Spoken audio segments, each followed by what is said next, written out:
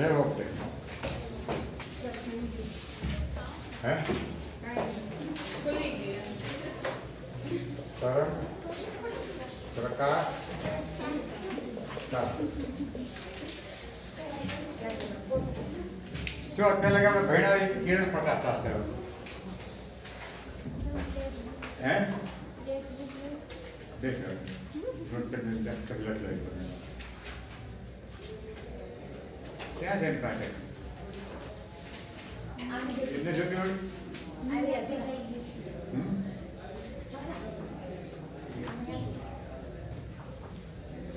અત્યારે જે ભણ્યા આપણે કેળક પ્રકાશ શાસ્ત્રમાં, જો દરેકની મર્યાદા હોય એટલે એ મર્યાદા પૂરી પછી તમે શોધ ન થાય એટલે બીજું કંઈક શોધવું પડે. તો કિરણ પ્રકાશ શાસ્ત્રથી વક્રીભવન અને પરાવર્તન તો સમજાવી શકાય. એ હાઈ ન્યારી ગાડું પણ પછી બીજી ઘટનાઓ હતી વ્યક્તિકરણ અને વિવર્તન. એને કેમ સમજાવવું તો પછી એને કિરણ પ્રકાશ શાસ્ત્ર કામ કરતું નહોતું એટલે પછી તરંગ પ્રકાશ શાસ્ત્રનું અસ્તિત્વ ઊભું થયું. અને હાઇગેન્સ તરંગવાદ આવ્યો શરૂઆતમાં તેનો તરંગવાદ છે એ મંજૂર ન થયો, ઘણા કારણો હતા. ધીરે ધીરે પછી યંગે યંગ છે એને વ્યક્તિગતના પ્રયોગ કર્યા. આપણે આવશે. વ્યક્તના પ્રયોગ કર્યા. પછી તરંગવાદ છે એ પ્રસ્થાપિત થઈ ગયું બધા દુનિયા આખી માન્ય રહ્યો ન્યૂટન એવું માનતો હતો, એ તરંગ, એ તરંગવાદ નહીં પ્રકાશ તરંગવાદ નહીં કણવાદમાં માનતો હતો. પ્રકાશ કણ છે. ન્યૂટન જે વાત છે, એ બધાને એવું માનવું હતું કે પ્રકાશ એ કણોનો બનેલો છે. એટલે એની પછી એવું માન- માનવાનું હતું કે જ્યારે પ્રકાશનું કિરણ છે, પ્રકાશ છે એ પાતળા માધ્યમથી ઘટ માધ્યમમાં જાય ને, તો એનો વેગ વધે. એનો વેગ વધે. જ્યારે તરંગવાદ એમ કહે છે કે જ્યારે ઘટ માધ્યમમાં જાય તો વેગ ઘટે. પણ તે માન્ય રહ્યું વેગ ઘટે સાચું કર્યું. અને ઓલું ખોટું કર્યું, ન્યૂટન. તો હાઇગેન્સ તરંગવાદ આપ્યો હતો બહુ આપણે આગળ ન જાય એમાં. તો બે વસ્તુ મેં સમજી લે આજે આપણે. તરંગ અગ્ર.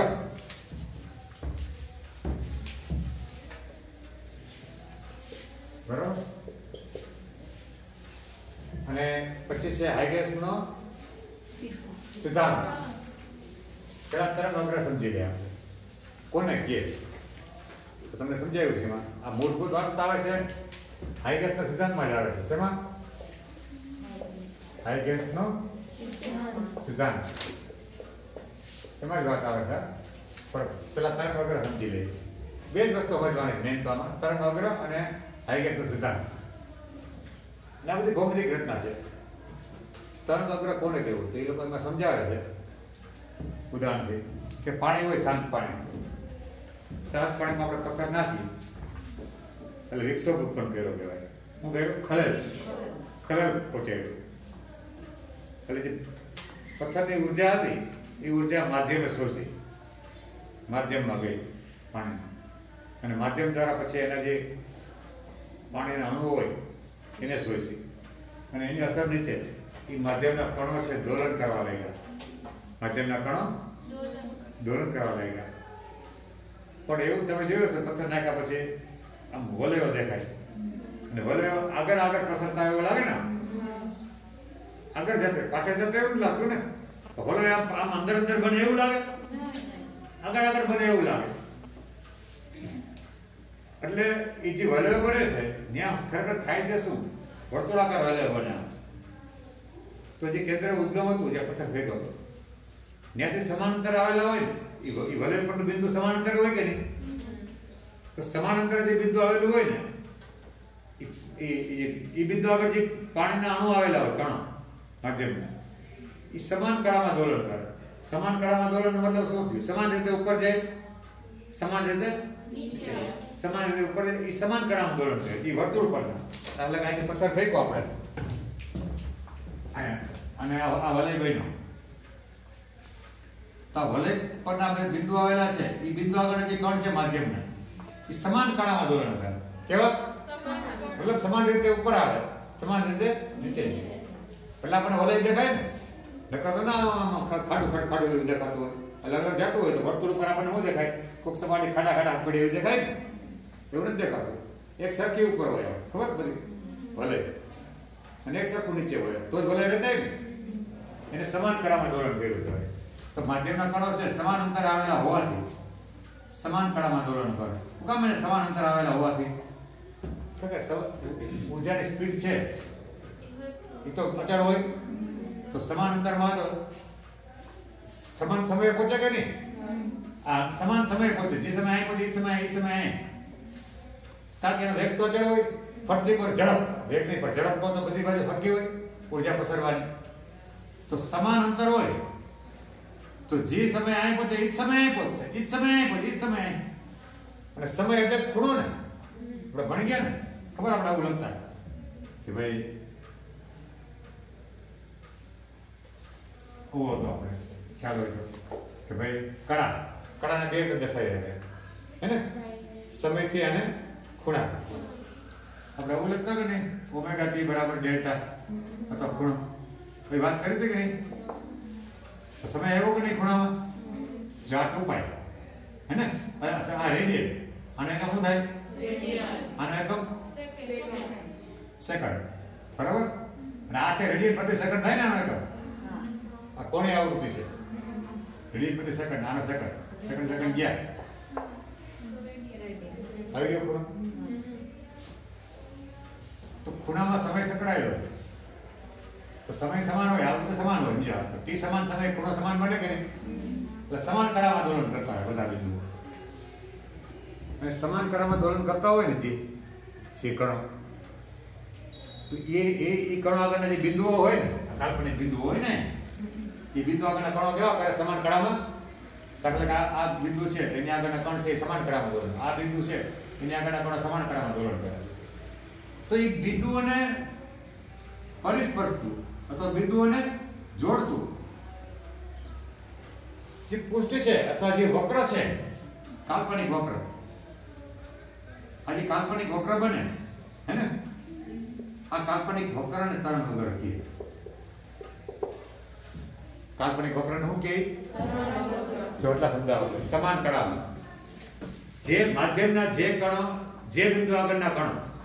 માધ્યમના જે બિંદુ આગળના કણો સમાન કળામાં દોલનો કરતા હોય. તે બિંદુઓને જોડતા કાલ્પનિક વક્રને. તે બિંદુઓને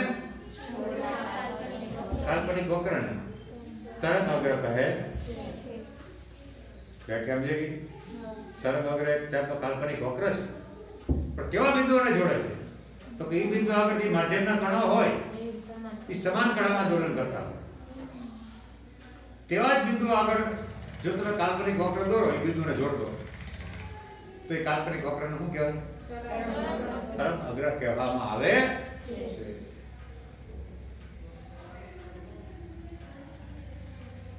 તરંગ અગ્ર સમજી લીધા પછી હવે તરંગ અગ્ર કાલ્પનિક વક્ર લખો અથવા પુષ્ટ પણ ચાલે નહીં. શું કહેવાય? પુષ્ટ પણ ચાલે. કારણ કે તરંગ અગ્ર ગોળાકાર હોય છે. તરંગ અગ્ર ગોળાકાર હોય, સમતલ હોય, બે તમારે છે. તો આ તમે આમ પથ્થરમાં ગોળ ભલે ભાઈને પણ સમજો કે માધ્યમ હોય આમ પાણી. અંદર વચ્ચે કંઈક તમે કંઈક વિસ્ફોટ કરો, તો તો ઊર્જા ફરતી કોર પસરે ને? ફરતી કોર પસરે. તો એ ગોળાકાર બને કે ને આમ? એ તરંગ કેવું બને? દાખલા કે પાણીમાં મધ્યમાં કંઈક વિસ્ફોટ કર્યો, તો સમાન અંતર ત્રિજ્યા જેટલા ગોળાની ત્રિજ્યા હોય. એટલા અંતર આવેલા ગોળા પરના બધા જ બિંદુઓ છે. એ સમાન કળામાં હોય કે નહીં?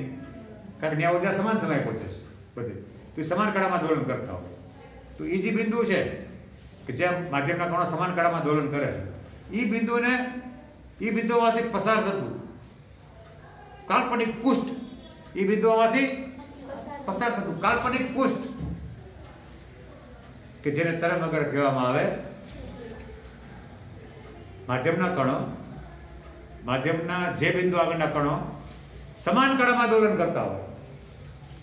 ઈ બિંદુઓમાંથી પસાર થતું કાલ્પનિક પુષ્ટ, કે જેને તરંગ અગર કહેવામાં આવે.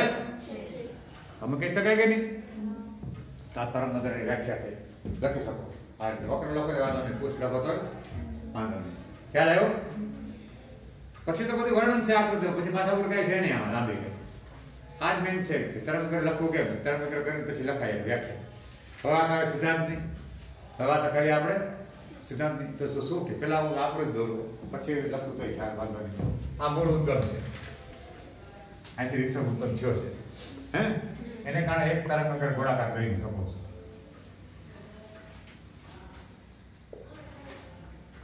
મેં ગોળાકાર તરંગ બન્યું હે ને? આ એનું ઉદ્ગમ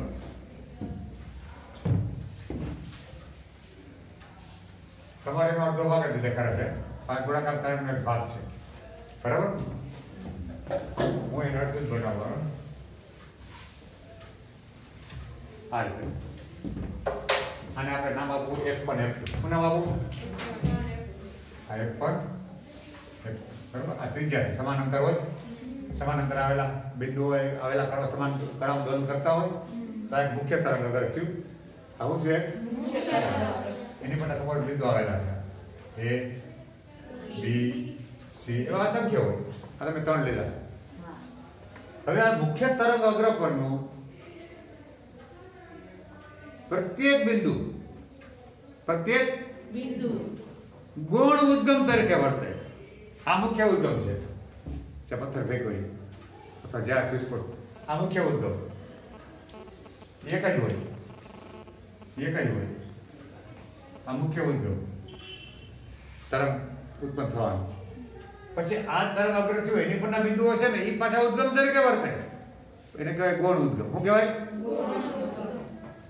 અને એ તમને કહી દઉં અમુક ચોક્કસ ત્રિજ્યા ગૌણ તરંગ ઉત્પન્ન કરે. અથવા તો ગૌણ તરંગ અગ્ર બનાવે. ચોક્કસ ત્રિજ્યા કેટલી લેવાની? તો કે અહીંથી શરૂઆત કરો. તો એનું અંતર જે છે આ ત્રિજ્યા. આ ત્રિજ્યા જે છે એ અંતર જ કહેવાય. ત્રિજ્યા આર. બરાબર. અહીંથી અહીં જવાનો વેગ ઝડપ. ગુણ્યા લાગતો સમય. આછું કે નહીં ઝડપ ગુણ્યા સમય અંતર થાય કે નહીં અહીંથી શરૂઆત કરું. અહીંથી હું ટી બરાબર જીરો લઉં. અહીં ટી બરાબર જીરો તો ટી બરાબર ટી સમય અહીં પહોંચે કે નહીં? વિક્ષોપ અહીં પહોંચે ને? ખરેખર તો વિક્ષોપ આગળ પહોંચે છે. આગળ આગળ શું જાય છે? વિક્ષોપ ખલેલ ઊર્જા આગળ આગળ જાય છે. માધ્યમતા દાખલા કે ઊર્જા અહીંયા આવી તો આ કણ છે ને આમ આમ થવા માંડ્યો. કણ આમ નથી જતો વિક્ષોપ આગળ જાય પછી. અહીંથી આવી ગયો. તો એની અડફેટે જે આવે ને કણ એ આમ આમ થાય. હજી આગળ ગયો વિક્ષોપ સમજે એટલે જે તમે ગોળાકાર વલેલો જોવો ને પાણીમાં જોવો જ ને ગોળ ગોળ. તો કઈ ગોળ ગોળ વલેલો કઈ આગળ ન જતા હોય એમાં એ ગોળાકાર હોલે આગળ ન જતા હોય. એ તો ન્યાન ને આમ થતા. આપણે ભાસ એવો થાય. આપણને એવો ભાસ થાય કે આગળ જાય છે. ખરેખર તો ઊર્જા આગળ જતી હોય. ઊર્જા? આગળ વિક્ષોભ. ઊર્જા એટલે વિક્ષોભ. વિક્ષોભ ને વિક્ષોભ ક્યાં સ્વરૂપે હોય? બીજે તો વિક્ષોપ શું હોય? એમાં તો આ ત્યાં પહોંચે તો આટલા વીટી જેટલા અંતર, આટલી ત્રિજ્યા લ્યો ને વિદ્યાને તમે કાલ્પનિક તરંગાગ્ર બનાવો, વર્તુળ બનાવો. બનાવ્યું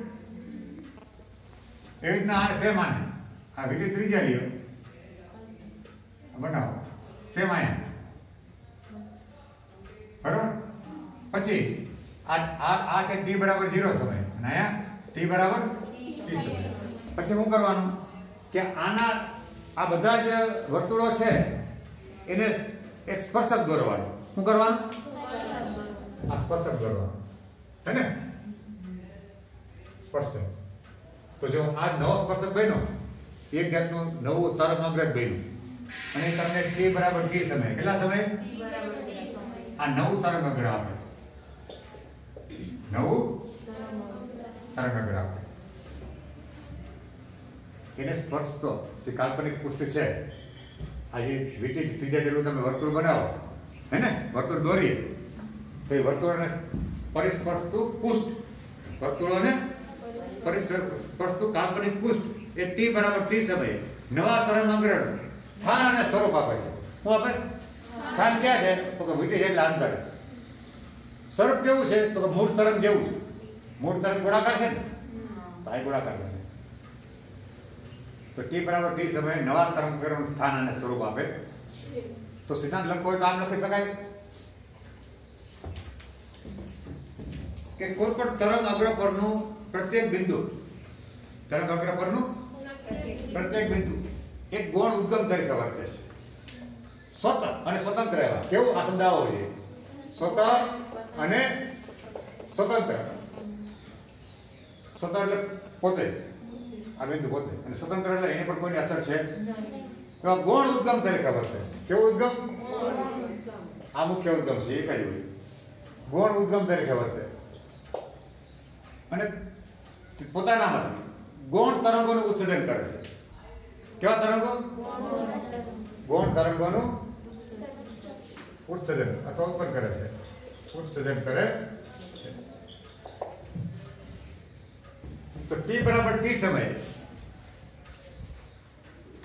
એ જે ગોળાકાર તરંગો છે અથવા ગોળાકાર જે પુષ્ટ છે ગોળાકાર વર્તુળ જે વર્તુળ છે એને વીટી ત્રિજ્યા લઈને દોરેલું. એ વર્તુળને સ્પર્શતું પુષ્ઠ એ વર્તુળને પુષ્ઠ. ઈ ટી બરાબર ટી સમયે. નવા તરંગ અગ્રનું સ્થાન. અને સ્વરૂપ. આપે? છે. આ પ્રમાણે વ્યાખ્યા મેં શબ્દ સમજી ગયા. મુખ્યત્વે આમ ખાલી આમ લખો તો તરંગ અગ્ર પરના, કોઈ પણ તરંગ અગ્ર પરના પ્રત્યેક બિંદુ ગોળ ઉદ્ગમ તરીકે વર્તે અને પોતાનામાંથી સ્વતંત્ર અને સ્વતંત્ર એવા ગુણ અને પોતાનામાંથી મૂળ તરંગ જેવું જ તરંગ ઉત્પન્ન કરે ટી બરાબર ટી સમયે અથવા આમ આમ ગોળાકાર તરંગ ગોળાકાર હોય તો ગોળાકાર.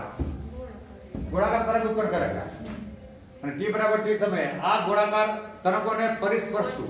પુષ્ટ. આગળની તરફ. પુષ્ટ. એ ટી બરાબર ટી સમયે એ નવા તરંગ અગ્રનું સ્થાન અને સ્વરૂપ. આપે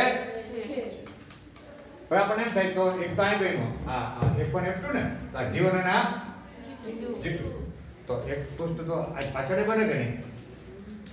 આયના સ્પર્શા આ? ડી1 ડી2 તો શું આય આમ આમ તર, આ તરંગ અગ્ર ન બને? નહીં, એ નહીં બને. એનું કારણ છે, તીવ્રતા આગળ જ ફેલાય. પાછળ જાતી એનું કારણ એ હાઈગેન તો સમજાવી શક્યો. પણ કિર્ચોફેન અને બીજું હોય નામના વૈજ્ઞાનિકે સમજાયું કે તીવ્રતા છે ને પ્રકાશને આય. એ cos square theta by two આના સમપ્રમાણમાં હોય. આના સમપ્રમાણમાં હોય. હવે આનું બીજું સૂત્ર હોય છે. હવે ભણી ગયા.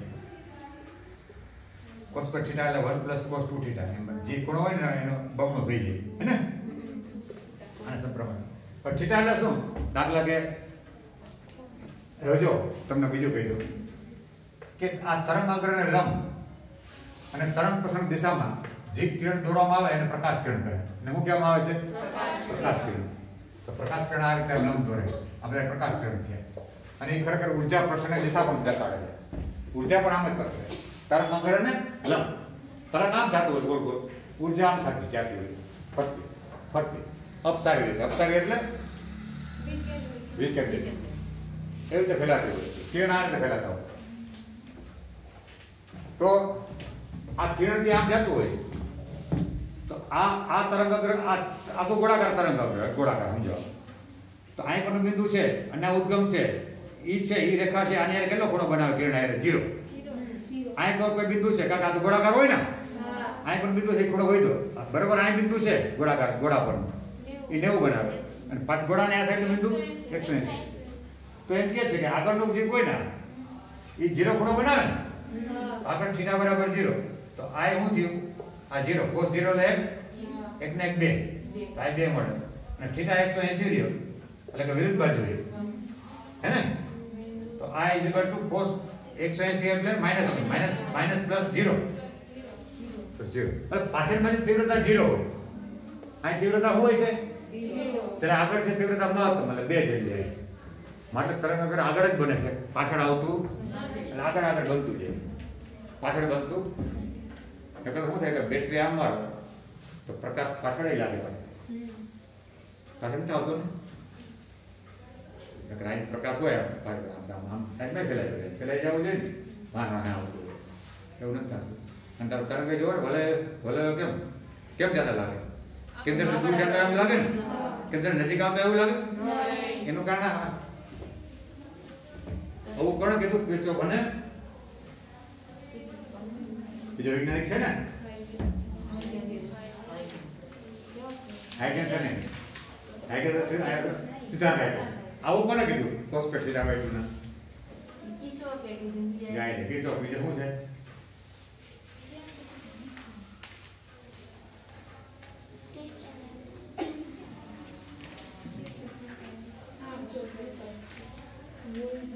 વૈજ્ઞાનિક હા.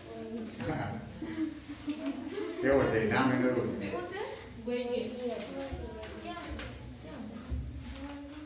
હવે જો તમને કહું કે આપણે વક્રી ભવન નીકળી ગયું છે હાઈગેન્સના કારણે પ્રકાર તરંગવાદથી પરાવર્તન નીકળી ગયું છે બરાબર છે તો સિદ્ધાંત પછી ડાયરેક્ટ નેટ છકડો મારવાનો છે ડોપલર અસરમાં શેમાં અસરમાં એના બે દાખલા ઉદાહરણ છે એ આપણે તમને વાત નહીં ગણીએ હવે જો પેલી બીજી વાત કરો લાગ્યા ના કરો આ ગોળાકાર તરંગ બન્યું ને તો સમતલ તરંગ વગર કેમ બને તો કે ગોળાકાર તરંગ વગર ખૂબ દૂરના અંતરે જાય ને તો ને એ સમતલ બની જાય કેવું થઈ જાય સમતલ તો સમતલ તરંગ અગ્રમાંથી સમતલ તરંગ અગ્ર જ ઉત્પન્ન થાય ગોળાકાર તરંગ અગ્રમાંથી તો જો સમતલનો તમને બતાવ્યું થાય તો સમતલ તરંગ અગ્ર હોય આગળ કામ હે ને હા તો એના બિંદુઓ છે બધા ઉપરના સમાન કળામાં એ બી સી ડી તો વીટી જેટલા ટી સમયમાં વીટી જેટલું અંતર કાપે ઊર્જા એટલે ત્રિજ્યાનું વર્તુળ દોરવાનું. હે ને? દોર્યું વર્તુળ? પછી એને પરિસ્પષ્ટ એક પૃષ્ઠ દોરો. આ તમને ટી બરાબર ટી સમયે નવું સમતલ તરંગ અગ્ર આપે કે નહીં? તો બાજુના આકૃતિમાં છે કે નહીં? બસ એવું જ. એમાં જો પેલું છે એને જીવન જેટલું કીધું છે ને? બીજાને? F1 F1 એક ને બસ એવું છે. બીજામાં કઈ છે નહીં. હા નીકળી ગયો છે?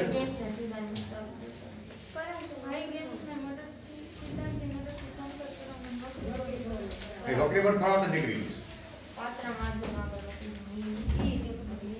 ડોક્ટર અસર છે ને એ પણ નીકળી ગઈ પણ દાખલા છે પાછા ઉદાહરણ એમાં લખ્યું નથી. ઉદાહરણ દાખલા છે બે. મેં એક ડોક્ટર નો છે.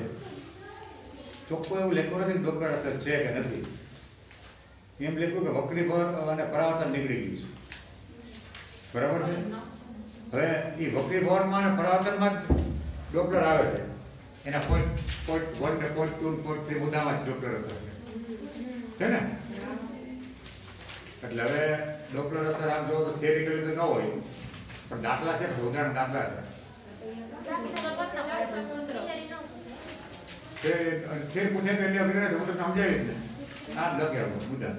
બહુ હેલા બધા લખી ના પડે અસર લખાઈ ગઈ બીજું હોય? પૂછાય તો પણ કાકે એમાં આવી જાય લોકો પૂછાય નહીં. હે? વાહે વાહે નીકળી ગયું વિભેદન શક્તિ બધી નીકળી ગઈ. જેથી કારણ છે વિવર્તન લગી જ છે. હા. વિવર્તન પૂરું થાય ત્યાં લગી છે.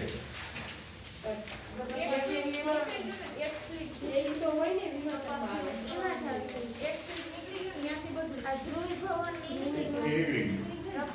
વિભેદન શક્તિ નીકળી ગઈ છે વિભેદન એ નીકળી ગઈ ધ્રુવ કોણ નીકળી ગયો